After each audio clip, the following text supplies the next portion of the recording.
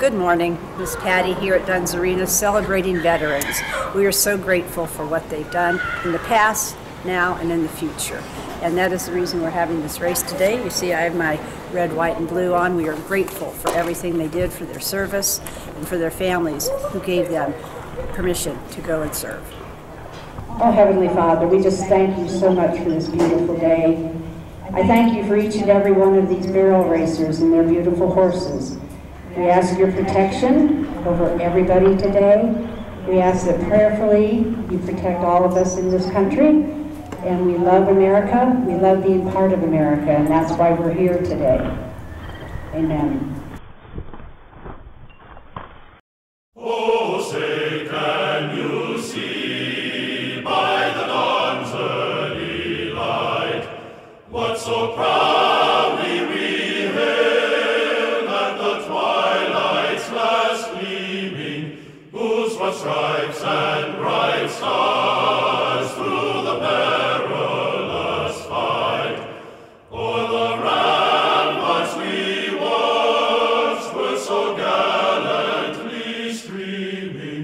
and the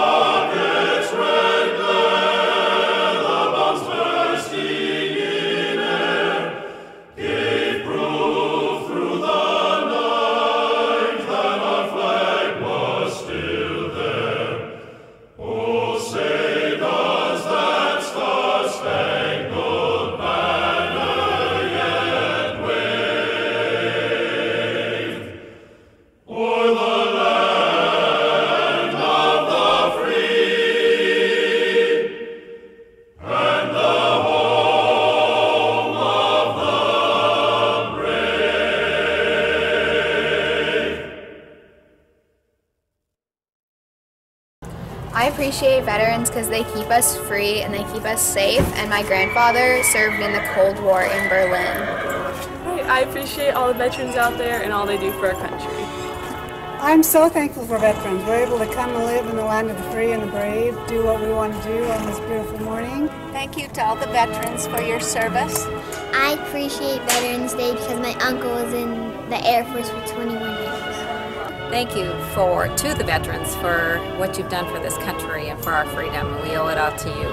I want to take this opportunity to thank all our veterans, past and present, for everything that they have done, especially my father, Gary Van Gelder, uh, retired as a major in the Army, my son, Jason Fincher, who also retired as a staff sergeant, and all my uncles that were all in kind of branches. But every veteran, we want to thank you.